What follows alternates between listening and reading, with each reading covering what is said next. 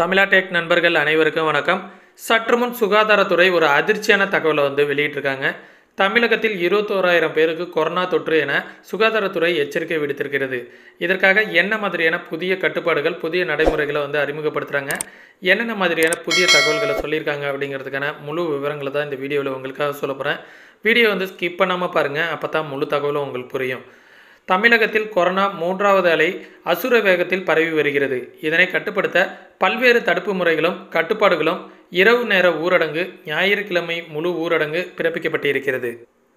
அப்படி இருந்த போதிலும் நாளுக்கு நாள் கொரோனாவால் பாதிக்கப்பட்டவர்களின் எண்ணிக்கையும் உயிரிழந்தவர்களின் எண்ணிக்கையும் அதிகரித்து வருகிறது. தற்போது நிலவரம் குறித்து மருத்துவம் மற்றும் மக்கள் நல்வாழ்வுத்துறை செய்திக்குறிப்பு ஒன்றை வெளியிட்டிருக்கிறது. அதில் இன்று தமிழகம் முழுவதும் எடுக்கப்பட்டுள்ள பரிசோதனைகளின் மாதிரிகளின் எண்ணிக்கை ஒரு லட்சத்தி ஐம்பத்தாறாயிரத்தி நானூற்றி ரெண்டு. கடந்த இருபத்தி நாலு மணி நேரத்தில் மட்டும் புதியதாக கொரோனாவால் பாதிக்கப்பட்டவர்களின் எண்ணிக்கை இருபதாயிரத்தி தொள்ளாயிரத்தி பதினோரு பேர். சென்னையில் மட்டும் புதியதாக பாதிக்கப்பட்டவர்களின் எண்ணிக்கை எட்டாயிரத்தி இரநூத்தி பதினெட்டு பேருக்கு கொரோனா தொற்று உறுதி செய்யப்பட்டுள்ளது.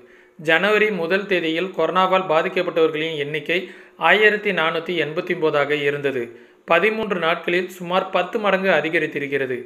இந்த கடந்த இருபத்தி நாலு மணி நேரத்தில் மட்டும் குணமடைந்தவர்களின் எண்ணிக்கை ஆறாயிரத்தி இரநூத்தி முப்பத்தைந்து பேர். அதேபோல் கடந்த இருபத்தி நாலு மணி நேரத்தில் கொரோனாவால் பாதிக்கப்பட்டு மருத்துவமனையில் சிகிச்சை பலனின்றி உயர்ந்தவர்களின் எண்ணிக்கை இருபத்தஞ்சு பேர். இந்த தகவலை சுகாதாரத்துறை எச்சரிக்கை விடுத்திருக்கிறது. வர இருக்கிற காலங்களில் புதிய புதிய கட்டுப்பாடுகள் விதிக்கலாம் அப்படிங்கிறதும் சொல்லியிருக்காங்க. பண்டிகை காலம் முடிஞ்சதும் கட்டுப்பாடுகள் இன்னும் அதிகப்படுத்தலாம் அப்படிங்கிற மாதிரியும் அரசு வட்டாரங்கள்லேருந்து தகவல் சொல்லியிருக்காங்க. அரசு சொல்லக்கூடிய அனைத்து வழிகாட்டு நெறிமுறைகளையும் அனைவரும் தவறாக கடைபிடிக்க வேண்டும். முகக்கவசம் தனிமனித இடைவெளியை சரியாக பின்பற்றி மூன்றாவது அலையையும் ஒழிப்போம் அப்படிங்கிறதுக்காக இந்த வீடியோ வந்து நம்ம மேக் பண்ணியிருக்கோம். இந்த தகவல் வந்து கண்டிப்பாக உங்களுக்கு பயனளிக்கக்கூடிய ஒரு விஷயமா இருக்கும்னு நினைக்கிறேன்.